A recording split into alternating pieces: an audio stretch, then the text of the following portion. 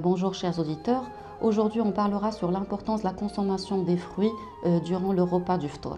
En effet, les fruits sont une excellente source d'hydratation après une longue journée de jeûne puisqu'ils contiennent énormément d'eau. Euh, manger des fruits permet également d'assurer un bon apport en fibres alimentaires qui, permettent un transit intestinal régulier et, procurent une sensation de satiété lors du repas du ftour puisqu'ils régulent la vidange gastrique. Il est conseillé de profiter euh, des fruits de saison comme les abricots qui sont très riches en vitamine A et antioxydants pour lutter contre le vieillissement cutané et cellulaire et contre les maladies dégénératives comme la maladie d'Alzheimer.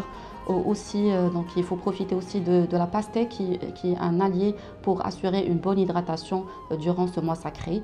Mais il faut noter que chez certaines catégories de patients, comme les patients diabétiques, il aurait conseillé de consommer des, des fruits à index glycémique bas, comme les pommes, les poires, le citron ou les oranges, et éviter les fruits index glycémique élevés comme la pastèque, comme le melon ou raisin, qui sont source d'une élévation d'hyperglycémie après le repas et peuvent ainsi déséquilibrer leur diabète. Pour suivre toute l'actualité d'EcoActu.ma, inscrivez-vous sur notre chaîne YouTube et rejoignez notre communauté sur Facebook et sur les autres réseaux sociaux.